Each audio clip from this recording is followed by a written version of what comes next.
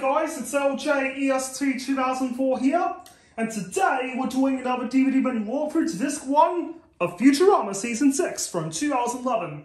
So this one, along with the rest, was requested by Jeremy Snider, who's a big fan of me and this show. So here we are in the main menu, and I'm going to show you what, show you what the episode selection really looks like. And unfortunately, all of the menus have no background music. So You can play it all, or play it individually. So I'm going to show you, first up, the menu for The Silence of the Clamps, in which Jeremy Snider hates because it has six bleeped out F words. There's audio commentary with executive producers Matt Groening and David Cohen, and the list goes on. Here I'm showing you the chapter points, and next up I'm showing you the setup selection and the only language is set in English. And the subtitles can be set in English, Danish, Finnish, Norwegian, or Swedish, or you can turn it off immediately.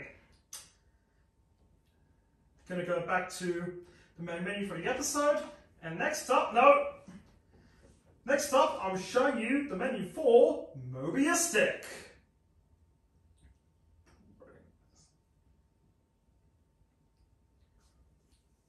Next up, is law and oracle, which is a pun on law and order, right? Chapter points We're all the same, but the pictures may vary, trust me.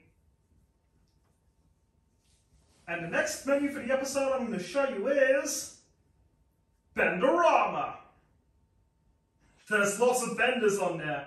I'm not kidding. Now for the chapter points. And next up, I'm showing you the menu for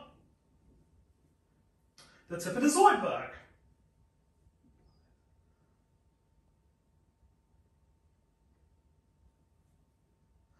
And now for the menu for the Ghost in the Machines, in which Jerry Snider does not like. And he's not going to watch it ever again. True. And for the last one, and the last episode I'm going to show you is Utopia. Awesome. That's when the Planet Express crew switched their genders and not their vocal cords. So, uh, I'd say the voices remain the same. Not kidding. And now I'm going to show you the special features. So the special features are deleted scenes, which is pretty awesome. Anyways, folks, that's it for another TV DVD Menu for 2, Disc 1 of Futurama Season 6 from 2011. So, do you like my content? Please make sure to comment, subscribe, and smash that like button. And after you've done you'll be notified when a new video's on my channel. So I'll see you guys in Disc 2.